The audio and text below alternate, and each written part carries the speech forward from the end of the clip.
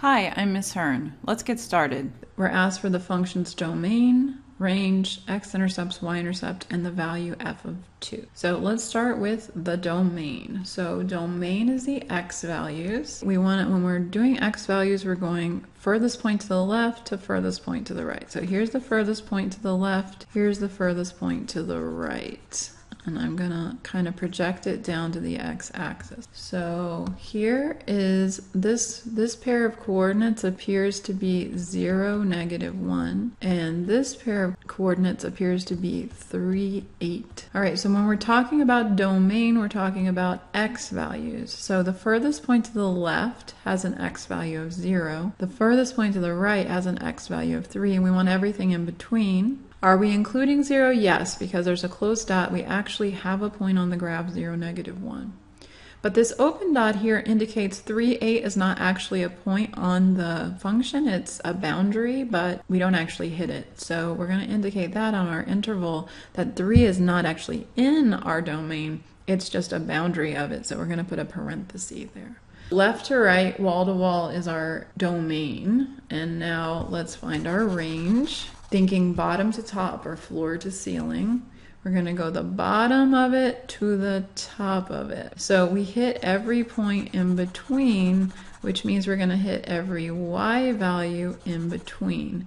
In between what? Well, this again was the point um, 0, negative 1, and this was the point 3, 8. So the lowest y value this time is negative 1 and it goes all the way up to the highest y value 8. You got to go in numerical order, left to right in interval notation. All right, now, are we including negative 1? Yes, because again, that's a closed dot. Are we including 8? No, because it's an open dot. Okay, now let's find the x-intercepts, if any. We look across the x-axis and we see if the graph intersects it, which it does, and it does so at this point here, which appears to be the point 1 comma 0, right? And so our x-intercept is 1 comma 0. By the way, you should always have a 0 for your y-coordinate of your x-intercept and a 0 for your x-coordinate of your y-intercept. All right, so let's find the y-intercept if there is one, which there is, we see here. So looking along the y-axis, axis this time, we definitely intersect the graph at the point 0, negative 1.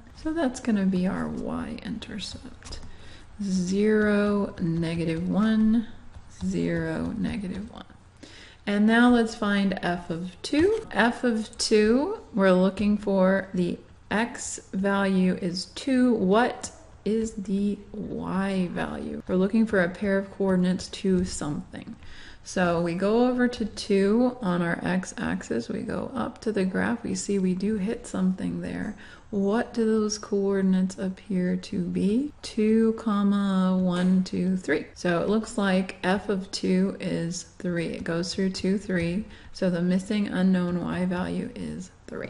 All right, here we're being asked to find several things. When we talk about domain, we're talking about the x values. So we have to determine wall to wall what x values this is going to hit. Now keep in mind the arrow is indicating it's going to continue, right? So furthest point to the left, well there isn't one. It goes on forever out to negative infinity. The domain is going to include all the numbers out to negative infinity. And then what's the furthest point to the right? Again, there isn't one. It continues onward, so it goes out to positive infinity. So one way we could explain this is to say that the domain is all real numbers. Or in interval notation, how do we describe a set that goes on the number line all the way from negative infinity to infinity?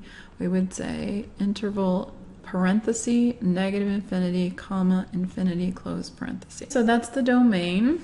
Now let's analyze the range. Range is y values, which would go bottom to top. And again, this is going to continue downward, and but it doesn't continue upward. There's going to be a, high, a no lowest point, but there's definitely a highest point. So our y values go from down here at negative infinity up to the highest point, which the highest point on this graph is this point, 4, negative 1. If that's the highest point on the graph, 4, negative 1, what's the highest y value? Well, that's the negative 1. So what we're saying is that we're going all the way from negative infinity up to negative 1. From here to here. Each one of those y values exists in one of the points on this function. For example, here's the point, looks like um, 7, negative 4. So the negative 4 is one of the y values between negative infinity and negative 1. Here's the point 0, negative 5. Negative 5 is another no one of the numbers between negative infinity and negative 1. But we can't list them all, so we can use um, different, we have different options, but in interval notation, this would be negative infinity up to negative 1. And we're actually including the negative 1 because there actually is a point on the function with a y value of negative 1. So we're going to have a bracket there to indicate we're including that point. Okay, so that was part B. We were finding the range of the function. Now let's find part C, x-intercepts. So x-intercepts are points where the function hits the x-axis, but there are none on this one. So for part C, we would say none, no x-intercepts. And y-intercept, if any. So y-intercept is any point where the graph hits the y-axis. We see that happens here at 0, negative 5. So the y-intercept part D is going to be 0, negative 5. Or in MyMathLab, they might just ask you for the number negative 5. I'm not sure.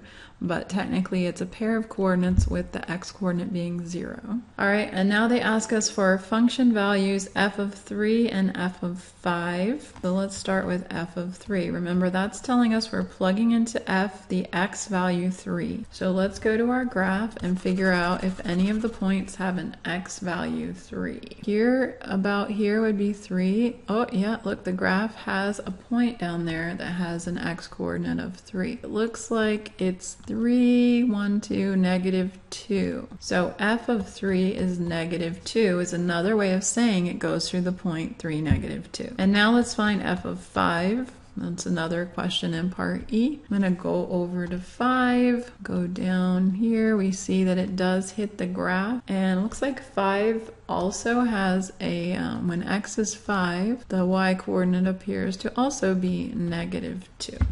I hope you found this video useful. If you did, please remember to like it.